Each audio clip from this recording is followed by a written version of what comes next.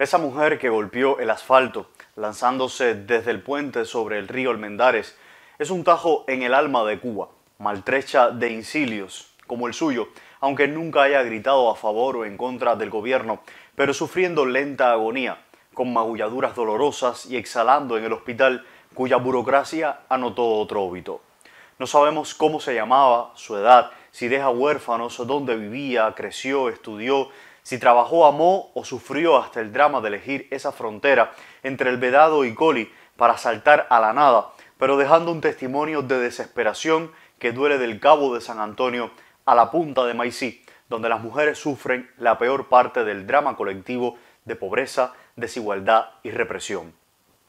Todo suicidio es un grito, un reclamo, una culpa, una venganza de quien no pudo o no quiso seguir viviendo, pero necesitaba comunicar su partida, que es su forma de decir no me sigan, pero no me olviden. Perdónenme, quiéranme un poquito y quiéranse mucho, aunque yo no lo conseguí, pero me habría gustado.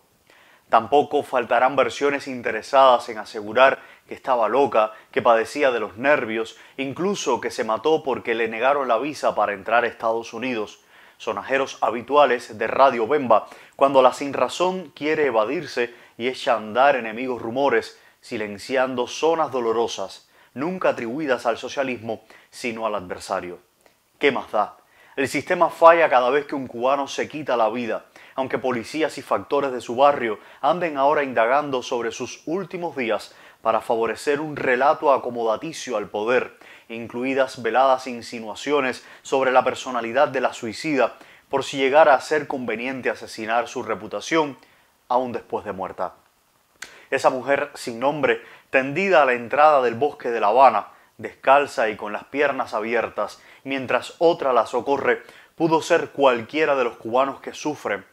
pero fue ella, que eligió suicidarse entre el primero de mayo y el Día de las Madres, cuando unos llorarán su trágica partida y otros cruzarán el puente Almendares con flores, keis y besos.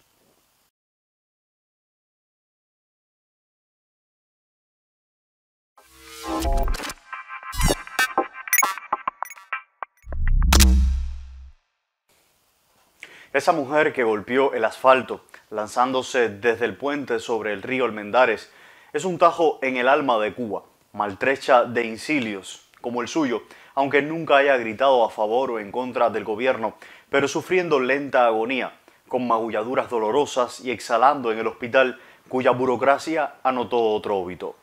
No sabemos cómo se llamaba, su edad, si deja huérfanos, dónde vivía, creció, estudió, si trabajó, amó o sufrió hasta el drama de elegir esa frontera entre el Vedado y Coli para saltar a la nada, pero dejando un testimonio de desesperación que duele del Cabo de San Antonio a la punta de Maicí, donde las mujeres sufren la peor parte del drama colectivo de pobreza, desigualdad y represión.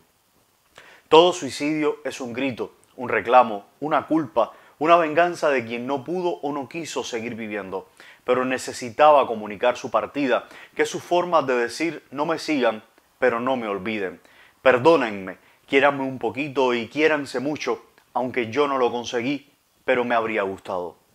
Tampoco faltarán versiones interesadas en asegurar que estaba loca, que padecía de los nervios, incluso que se mató porque le negaron la visa para entrar a Estados Unidos, sonajeros habituales de Radio Bemba, cuando la sinrazón quiere evadirse y echa a andar enemigos rumores, silenciando zonas dolorosas, nunca atribuidas al socialismo, sino al adversario. ¿Qué más da? El sistema falla cada vez que un cubano se quita la vida, aunque policías y factores de su barrio anden ahora indagando sobre sus últimos días para favorecer un relato acomodaticio al poder, incluidas veladas insinuaciones sobre la personalidad de la suicida, por si llegara a ser conveniente asesinar su reputación, aún después de muerta. Esa mujer sin nombre, tendida a la entrada del bosque de La Habana, descalza y con las piernas abiertas, mientras otra la socorre, pudo ser cualquiera de los cubanos que sufren, pero fue ella, que eligió suicidarse entre el primero de mayo y el Día de las Madres, cuando unos llorarán su trágica partida y otros cruzarán el puente Almendares con flores, keis y besos.